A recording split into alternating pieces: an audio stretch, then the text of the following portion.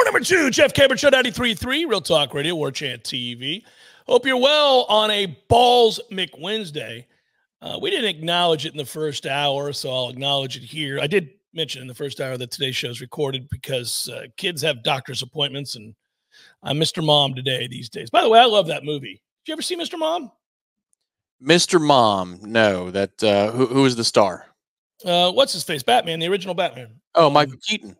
Yeah, Michael Keaton. This is back in the 80s when Michael Keaton did a series of comedies uh, Night Shift, Mr. Mom, uh, some movie I can't remember the name of the movie with the with the cars where he's working at a car dealership and they're shutting down.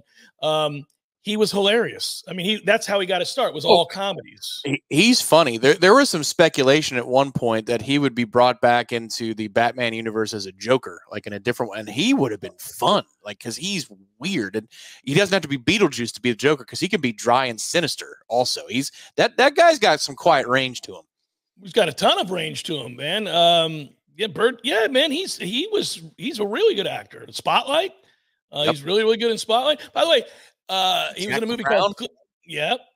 He was in Clean and Sober, uh, where he was an alcoholic, and that's a great movie. By the way, Morgan Freeman is in that movie. Really good movie. I never saw Birdman. I heard it was good though. It was critically awesome. Is it? It was. Yep. And he's incredible in it. Buddy, he's he's he's the truth. Yeah, he's really really really good. Also, I once listened to a long podcast with him. I believe Marc Maron was interviewing him, and uh, he's had an interesting life. He lost a wife, uh, like like as in she died. Um, he uh, he also uh, admitted to uh, frequently being caught in airports with massive dips in his mouth. he said he's like i'm a celebrity and i don't like people to see me doing things that aren't healthy but i really like a good dip and a lot of times when i'm getting ready to fly to calm me down i put a big dip in and invariably somebody will come up to me and i got a huge dip in my mouth and i just thought well, that runs contrary to what I think Michael Keaton to be, right? he also gave up quite a few roles to to be a dad as well. Um, yeah, he, he yeah. put his career on the back burner. Well, he made plenty of money. This is this is that that's something that that's a decision that you or I would do.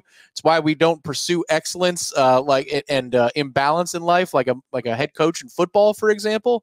Right. Once you make your money, once you make that number, once that tried and true consulting uh, money comes in, you're gone. Yeah, buddy. You're done. Yeah.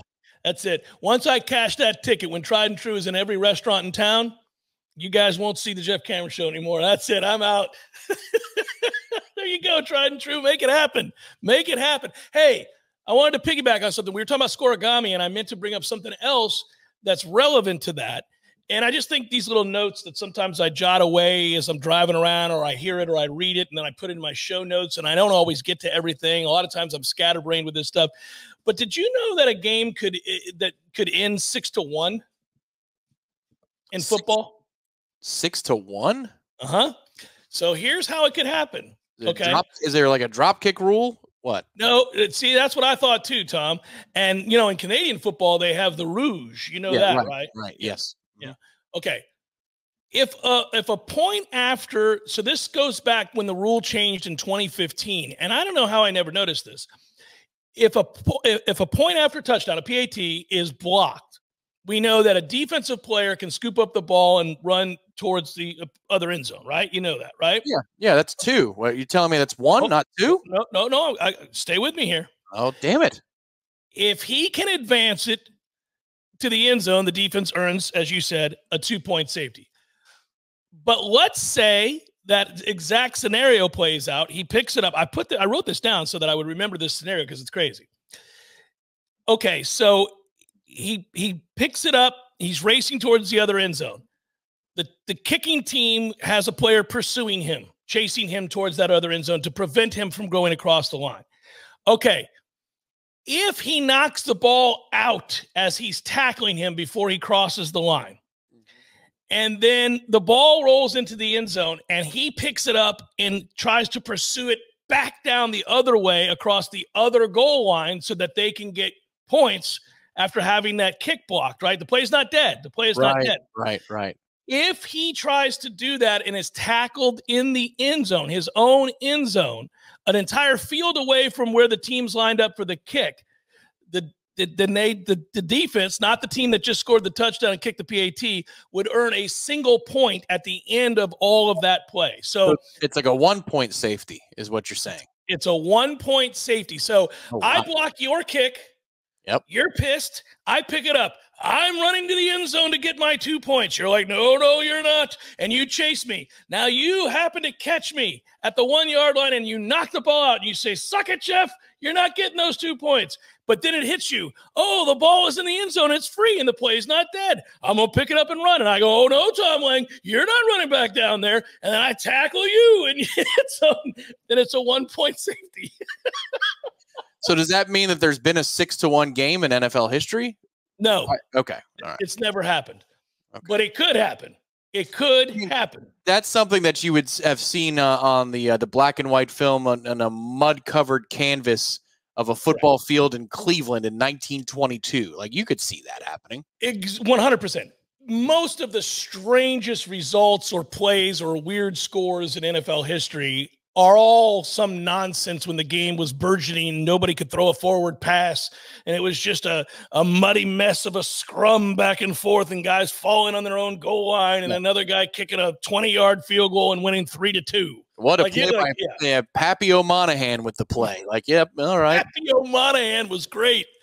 Another big play from Pappy Mo- O'Monahan, his third catch of the day. Pappy's feeling it today, guys. There have only been five completed passes this year, the season 1937. Five completed passes, three of them are to Pappy O'Monahan. What hands? He's got unbelievable hands. It's because he worked, he worked the steel mill from age nine to age 22 before they discovered him in a lunch break. He was smoking unfiltered, uh, smoking unfiltered Lucky Strikes at the age of eight, and said, uh, "Coal mine, man." Go back if you go to like websites like Quora, or if you just look at uh, you, uh, you know, Go- Google Images and type in like child labor 1915, you'll find some amazing pictures as to how these laws were enacted to protect children. Think about what kind of an adult had to live back then. A jaded, angry, always wearing a damn suit, even though it's 98 degrees outside, smoking, frustrated adults who found it in their heart to make a six year old go down in the coal mines and go to work. Like they're like, yeah, my life sucks. I'm going to be dead by 30. We can put six year olds to work. Screw it. Well, they're Screw damn near, they're closing in on middle age at that point. You know, like here you go. Here's here's an image. Look at that.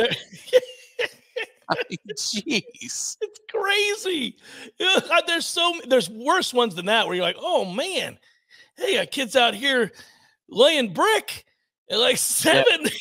All right, I, I got I got one for you. I'm, I'm pulling it now. Uh, this is uh, the license is from Alamy, so I got to do all that kind of stuff, and there'll be a watermark on it. This is 1911 in South Pittston, Pennsylvania, and this is Mm. a collection. This is like a union's worth of kids. By the way, South Pittston sounds like a tough place to grow up.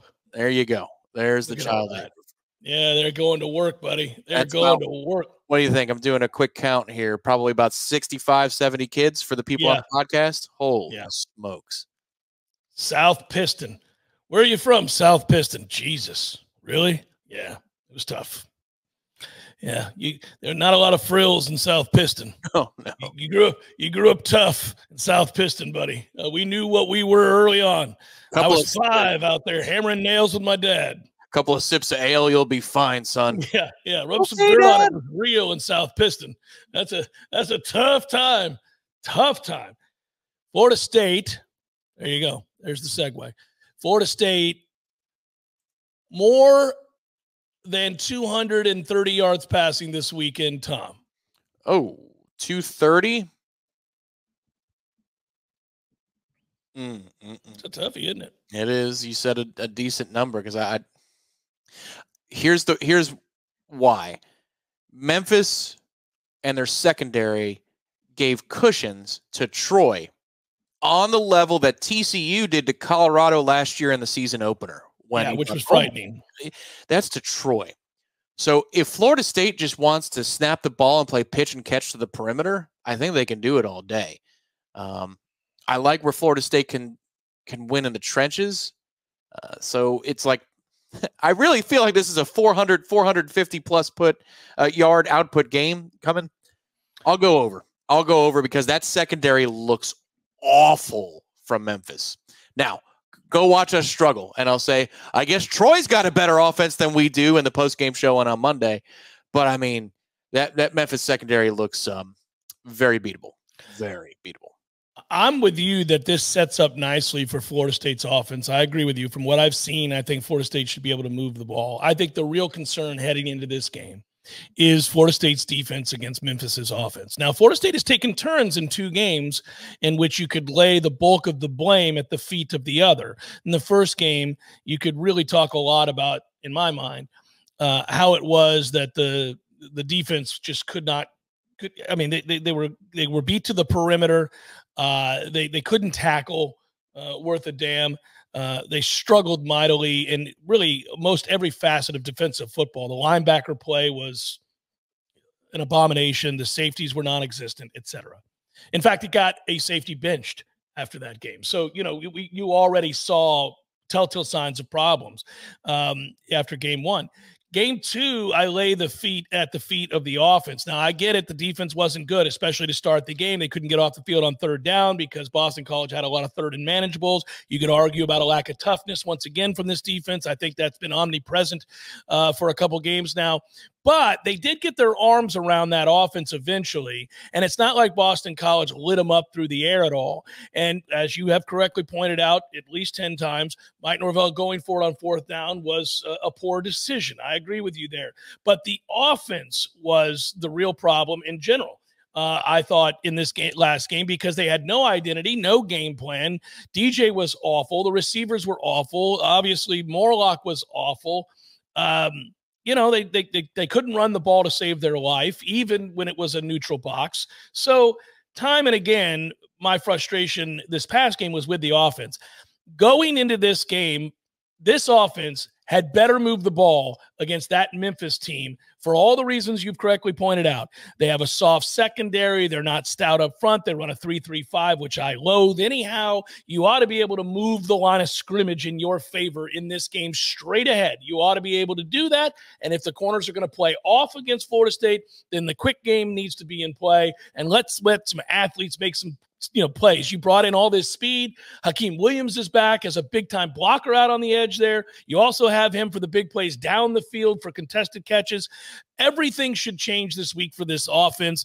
I'm not saying it's going to be a juggernaut because I don't think that line is ever going to be this year a plus offensive line, but it doesn't have to suck. Yeah, there's a couple of notes on that offensive line. Uh, the running, the run blocking is not good. There's no doubt about that. Uh, the numbers will tell you that when they pass pro, they're excellent at it. When they don't, it's instant pressure, instant pressure, because Florida State is bottom 10 in the country in quarterback pressure rate. However, DJU's average time to throw is as good or maybe a little bit better than it was at Oregon State. It's close to three seconds. It's 2.7, whatever, 2.8 seconds. That's a lot of time, actually. So, what that tells you is when they're good at it, he has all day.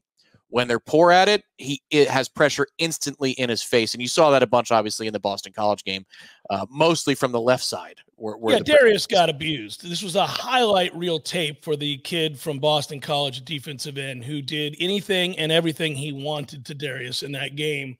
Um, it it got so bad that it made me feel bad watching it. Like I thought, oh man, this is we shouldn't be able to see this. This should be behind a paywall. Lord Darius is just this is this is no good. This is no good. And it's just like that with Robert Scott on the other side, by the way. When they're forced to play him, buddy, I, I'm sorry. I've said it two years now. A, he's not been healthy for two years. B, when he plays, it's it's minimal.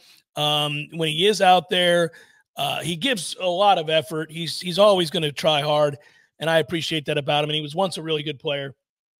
He's shot, man. He can't play. He can't play and you can't keep putting them out there. I blame the coaches for that. You can't keep putting them out there. I don't care how much love you have for somebody. If they can't block, you got to get them off the field. You're getting your quarterback into a place where he's losing confidence by the second. Uh, your two tackles are a big reason for that. Uh, back to the point about Memphis, really quick. Uh, if you have a worry, it's about their offense against your defense. This is this is two fingers to my eyes, two fingers back to you, Adam Fuller, back to you, Randy Shannon, back to you in the secondary, back to you on the edges, back to all of you guys. Let's grow up now. Let's get to communicating and let's be physical. Let's play downhill. Let's hit some folks and get them on the ground and let's go. You're going to give up some points because you're not great, but you know, we have to give up a ton and you can get off the damn field on third down.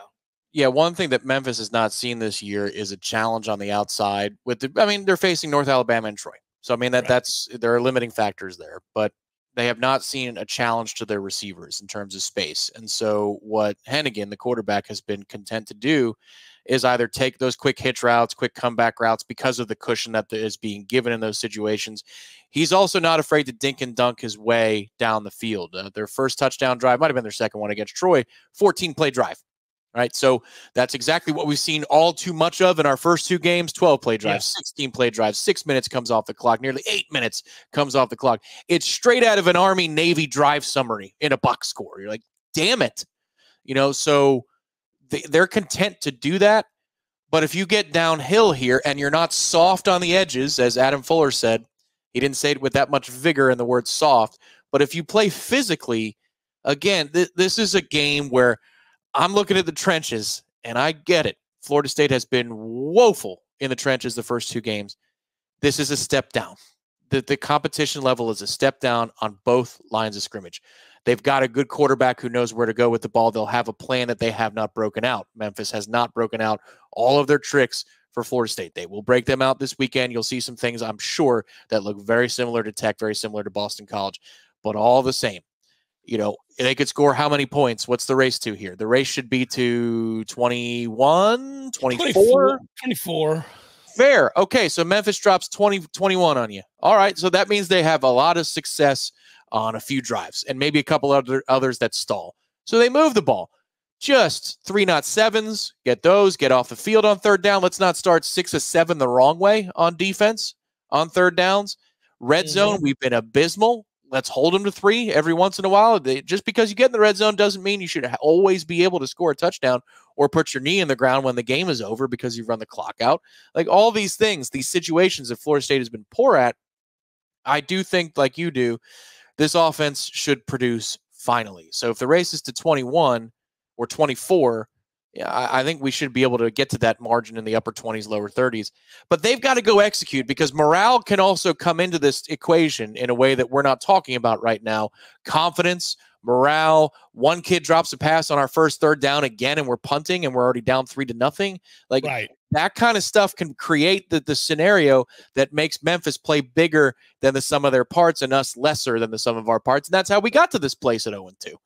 Florida State is a six and a half point favorite in this game against Memphis. I know it's not Redemption Thursday, but just a heads up on that. By the way, I will give it away already. I'm going to be on the uh, Warchant report uh, where we'll make our predictions, but I'll tell you right now, I've got Florida State winning this game 31 21, Tom.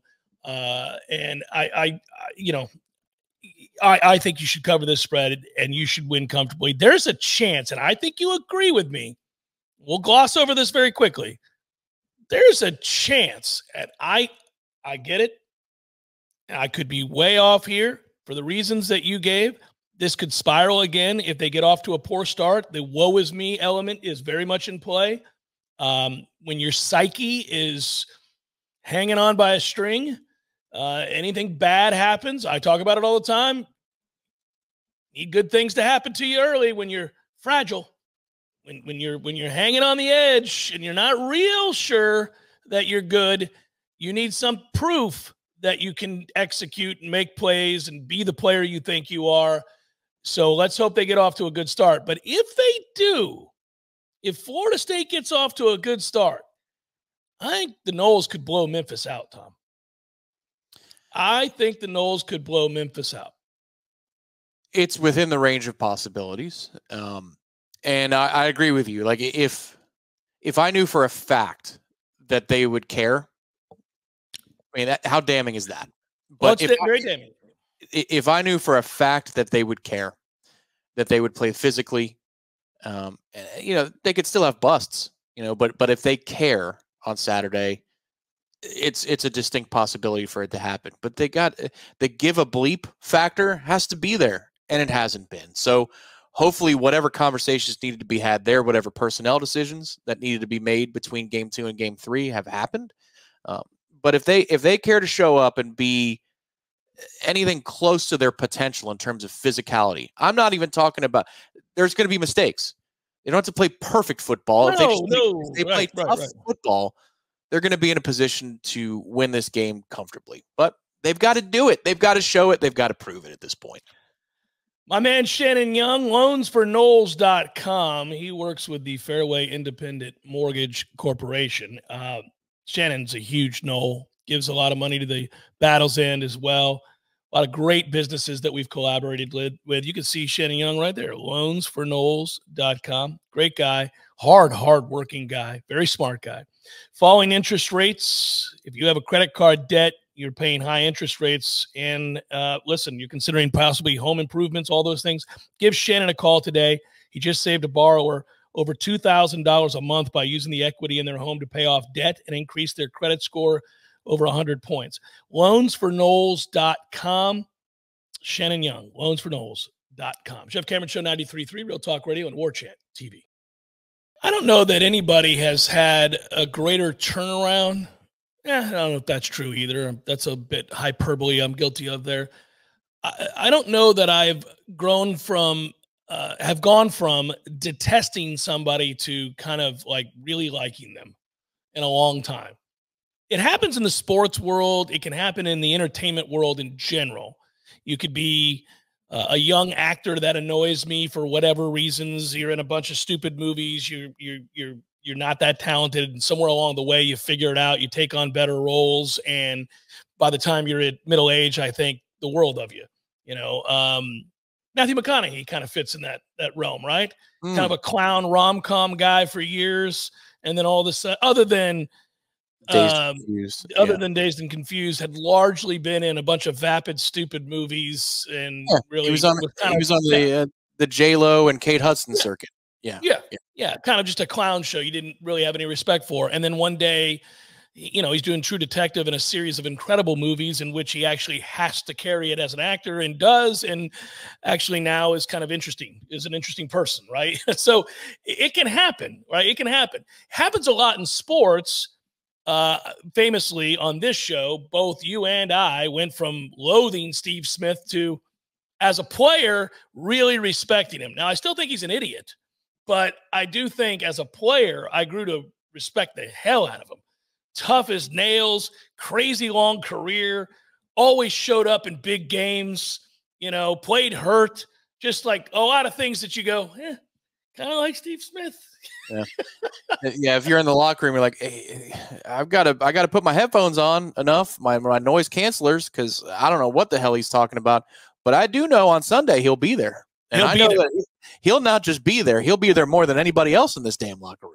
Yeah, Well, yeah, and he'll show up and he'll take it to the other team's best player. And he's just, yeah, there's a lot of things like Steve's about that action. And you, you're Yeah, like, right. okay, I got you, Steve Smith. Yeah, that- I'm with you, buddy. Um, but you know who the latest candidate is, and it's been happening for more than a year now. And I think it's a completely successful overhaul of perception. Uh, you got to Ri- guess? Ryan Braun. God, no. Thankfully, that stupid ass is no longer even in baseball. Hey man, remember how uh, when he bet his life on uh, and blamed a father and a son, we felt bad for Aaron Rodgers. You're like, man, you trusted the wrong guy as a friend, and now Aaron's gone the other way. look at that. gone the other way. It makes perfect sense that those dudes were friends. It makes perfect sense. Now it does. Now knowing what we know about Aaron, it does. But we didn't know that for a long time, and then all of a sudden, more and more it got revealed, and you're like, oh, yeah, okay, got it. Yeah, okay, Aaron. A little too dysfunctional to keep it together with Olivia Munn. You you don't say. Uh, uh, that's that's a red flag right there and a half. Well, she was beautiful. What a dumbass. I, I don't know how you ruined that one. That's Right. that's Run to. Danica Patrick. Okay, whatever. Yeah, that's really strange. No, the answer is Lane Kiffin. Oh, Lane Kiffin is not only now somebody that I kind of like, I think I really like Lane Kiffin, and he did it again yesterday, everybody. He is crushing Paul Finebaum around every turn whenever he gets an opportunity. And he added him yesterday on X with the what are you good at again? Uh, after he posted a clip of Finebaum saying there is no chance that Auburn can lose to Cal. None. Book it. Uh, that's that's the clip that Finebaum uh, had, and then Lane taking that clip, posting it, adding him. What are you good at again? After in the offseason, providing one of the more uncomfortable yet satisfying moments we've seen in media in some time uh, by sitting right next to him and ripping him for a good five minutes on his own show as Finebaum had that nervous little kid smile. I just broke the lamp and you know it, but I'm lying to you and I'm going to stare away from your eyes because I know you know that I'm lying to you. Look on his face. That that was that whole interaction. There was a lot of shame in, in Paul Finebaum's presence in that moment. And and Lane Kiffin made him feel the shame. And there was nobody that could help him. And I even feel like the truck and his producers decided not to help him because there's you could have acted 10 seconds quicker and been the yes. referee in the boxing match and, and stuck your hands in the way and said, We're done here. And then hug the combatant who is being beaten to death to save their life, as many a boxing referee has done. And they let it go an extra few ticks. Well, I think that's very do. telling. I think that's very telling. Well, it's like the producer in the in uh, in in Nashville that let the Titans lineman walk over and just start to unload on the host. And that picture of that, look at that guy. If you're not on Warchant TV, you can't see this, but that's, that's Buck Reising, by the way. The Buck yeah, Reising. that producer sitting next to him is just like, oh, I'm going to enjoy this. that is a big man walking our direction. it's about damn time. Old Buck it's, Reising has said some dumbass things over the years, and he's gonna get called on the carpet. You know, the one thing they didn't show there was him turning his shoulder and looking at Buck like, "Well, what do you think, Buck?" I can't imagine that moment for Buck as he's sitting there, whatever he's saying there, they're at camp and he sees the guy that he has said some things about. Notice him, first of all, at a distance, right? Because you know it's in the back of his head. You know, he's like, oh man, that's yeah, that's uh, whatever you know, Jerry Smith, whoever he, I can't remember the player, and then he's just like, oh, he's he's walking. Okay, this is not good. He's coming straight here. Okay, I got to pretend like I don't care. I'm gonna keep talking. Oh, he's getting closer. This is oh, this isn't good. And now you got a producer going, oh, okay, here we go, here we go. like the thing, all those years ago, um, when Jim Everett attacked Jim Rome the only thing I ever gave Jim Rome credit for was in the moment knowing he had no choice. He had to say it again. He had to say it again and knew what was coming. He knew what was coming. He knew, he also knew it would get broken up, but he knew there was a good chance this guy's coming across the table. Yes. And, also, in that moment, I'm sure this is not something I would ever do personally. Um, not for fear of the other guy, but just because it's small time. I don't know. It's just you got to have yeah, more yeah, dignity. Yeah.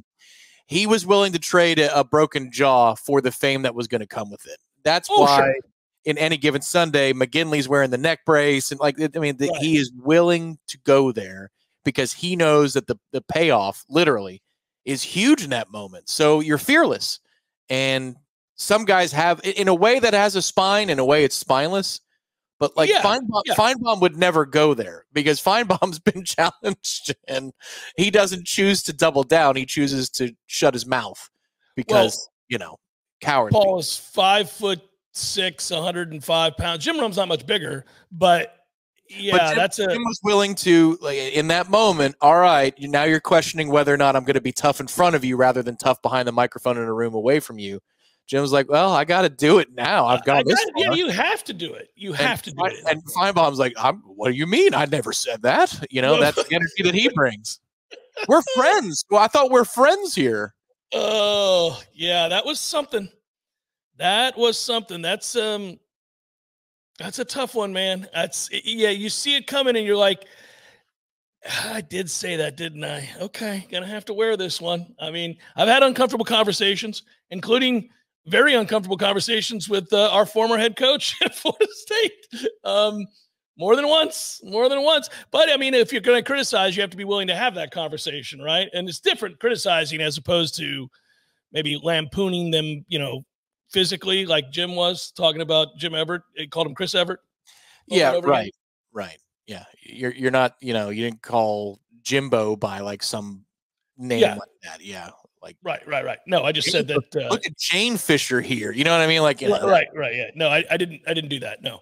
Um. And and the thing that he was the things that he were uh, was always mad at me about were things that you know were true. Things that happened. Like he- he's mad that I said that this happened. Well, it did happen, man. We're, we one of them the whole stadium saw. yeah. What are you talking about? Um. Yeah. So you can't. Anyhow. Uh. But kudos to Lane Kiffin, who I think has made the complete transformation. It's uh, Steve Spurrier did too at the end of his career. Still doing it. Still loving Steve. yeah. The, every once in a while, he'll remind you why you hate him. Uh, but for the most part, he's pretty funny. For the most part, he's is pretty funny. Like he's Yeah. he's he's the genuine article. That's who he is, for better or worse. And in those worst moments, you're like, you are just a small individual who can't let anything go.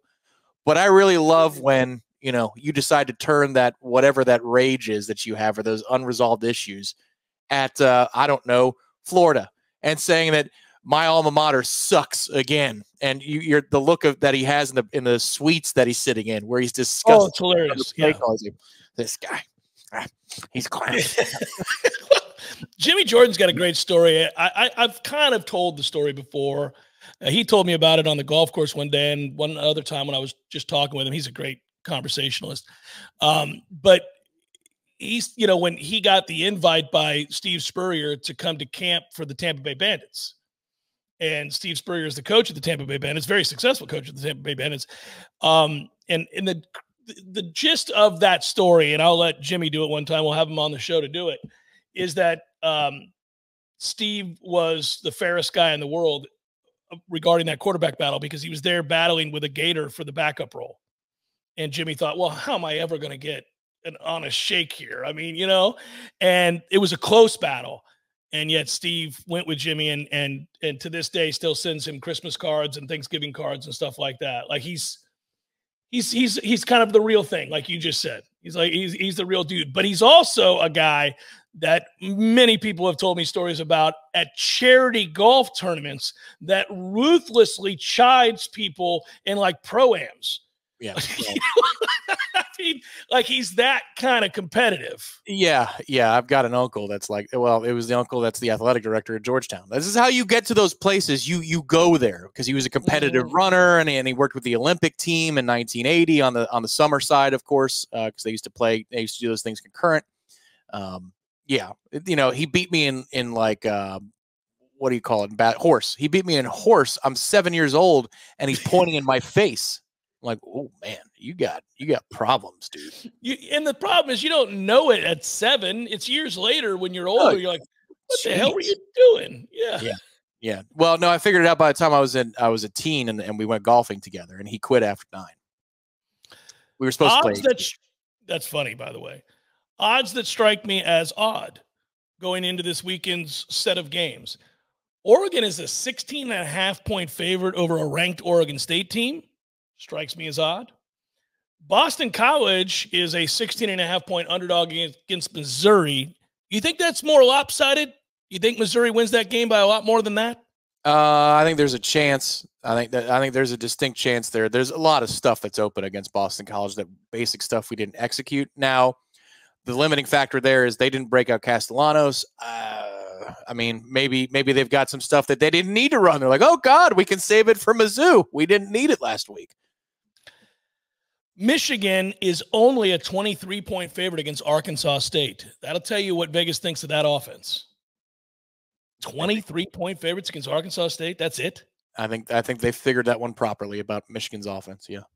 This one strikes me as odd. Arizona State and Dillingham, who's doing a really good job, is only a one and a half point favorite over Texas State tomorrow.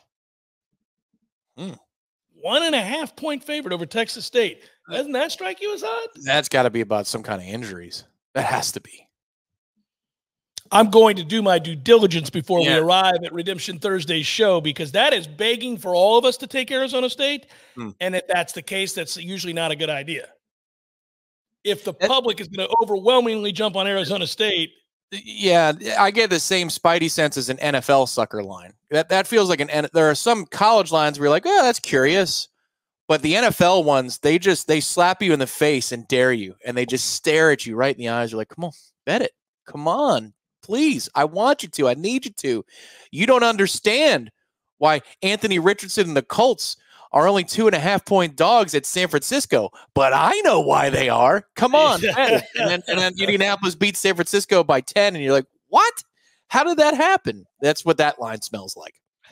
I successfully took uh, Indianapolis in the two and a half against uh, Houston, by the way, or three and a half, whatever I was getting last week. That it was that crazy stat about home uh, underdogs within the division in week one.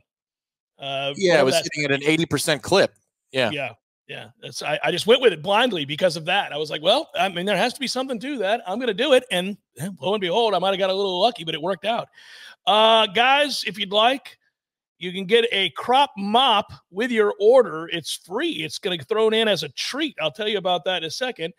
I'm talking, of course, about Manscaped manscaped.com and you get 20% off and free shipping with the code warchant 20% off with free shipping at manscaped.com use the code warchant uh, this is a, a moist towelette made specifically for the boys and a lot of things being made for the boys these days which is a good thing and it's kind of been led by manscaped you've got the the lotion you got the crop preserver you got the crop soother you got the weed whacker which is a little less soothing sounding, but nonetheless very effective for your nose hair, your ear hair. You got to tidy up, uh, uh, tidy up the face, man. Get it done, get it done, and save a bunch of money while you're at it. Twenty percent off and free shipping with the promo code WarChant at Manscaped.com. It's Jeff Cameron Show 93.3 Real Talk Radio, WarChant TV. This is normally something I would throw in next hour. We're coming up on next hour, but I did want to make mention of this. We might be able to carry it over for hour number three. Uh, YouTube sports rights efforts uh, may have already reached their apex, that according to John Cruz, who is the head of global sports partnerships for YouTube. Uh, most media companies are constantly chasing the next big thing. I'm quoting from said article here. Uh, and YouTube itself continues to be open to new sports opportunities.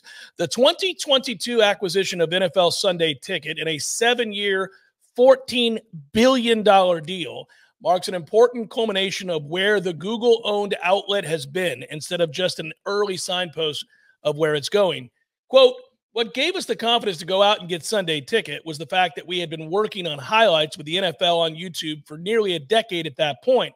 The fact we had built up a lot of reps with a pay TV subscriber base via YouTube TV and had engaged advertisers across both of those services. All that pre work that we did has laid the foundation on which Sunday Ticket sits, as opposed to the opposite. Gaining the NFL's residential out of mark rights has been a significant driver to the overall YouTube business. YouTube TV is now the number four U.S. pay TV service with more than 8 million subscribers. By 2026, YouTube TV is projected to be the number one uh, uh, driver of YouTube business and TV service, pay TV service, according to research done by uh, Moffett Nathanson. Uh, as it continues to grow, linear carries in front of it, Charter, Comcast, DirecTV are all in a state of decline currently. It's been an important pillar for our overall business, bringing in Sunday Ticket to our platform that's enabled us to have the most comprehensive NFL offering of any distributor. They plan on doing more. They want to take over all of the things, Tom, including they want to tell Amazon to suck it. They want to tell Hulu to suck it. They want to tell Peacock to suck it. They want to tell all of them. I know. We're taking all the games, buddy. Yeah, well, uh, look, in terms of the user experience, uh, there's a reason why that they're they're climbing, and and I've seen what Hulu's interface looks like. It's okay at best. Um, yeah. I've had Sling for parts of the season because they get a couple of networks that YouTube TV does not, uh, namely NHL Network. Um, I enjoy watching those post games in the postseason. So I've watched, I've seen what Sling's product is. Not bad. YouTube TV's product is the best. And this is again, it, we've done a few of these segments where it sounds like it's an endorsement. I wish it was. I wish it was. I'd like. Well, maybe it will. Maybe it will be at some point. Yeah but I mean that is it's it's almost like what what Gatorade is to sports drinks, and Nole fans cringe about it, but like man, it's it's synonymous with the sports drink. What Coca Cola is to soda, YouTube is to video streaming or video content on the internet. And what they're trying to do is make that the same way with the streaming service. Um, it is an outstanding product. It's extremely reliable. It's how I watch the Florida State games, and there's little to no. But as long as you got good internet, like their their back end structure is good, which is interesting because I don't know if you saw NFL Plus, which was rolled out again this year. It crashed on Sunday in the one o'clock window. Ooh, no, no, no, no, no. I, I told you, like, so my NFL loving nephew loves the NFL. Specifically, loves the Raiders because of the the, the colors and the logo. So he's yeah. latched onto them, and he that's his team now is, is the Raiders. He wanted NFL. He wanted NFL Plus. So I got him NFL Plus for a gift. And then the first week, he's like, "Hey, can you see if it's working?" I'm like, "Oh no!" And sure enough, I go. The first thing I do is I go to X, and they're saying NFL Plus down. I'm paying $15 a month. Get your bleep together, NFL Plus.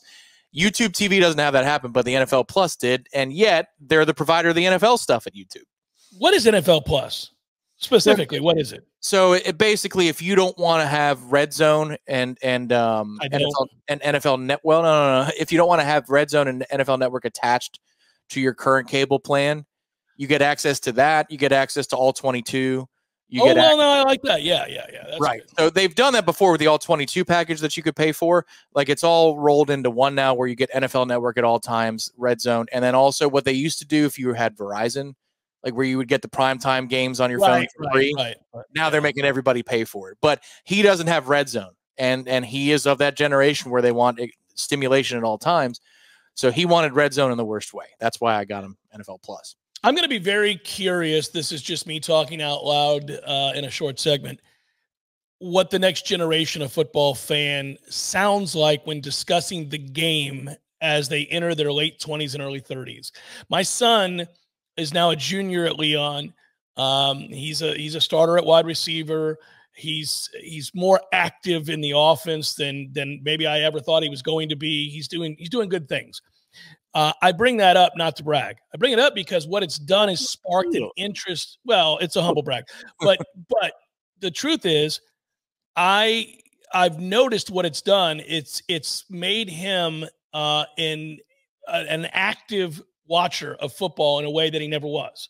It was always on in the background. He checked the score. He goes to every Florida State game. But now that he is in an offense and is being relied upon as a receiver within the offense, certain concepts, he understands uh, a lot of what uh, he's looking at now on the screen, like what they're trying to accomplish, what the concepts are, right?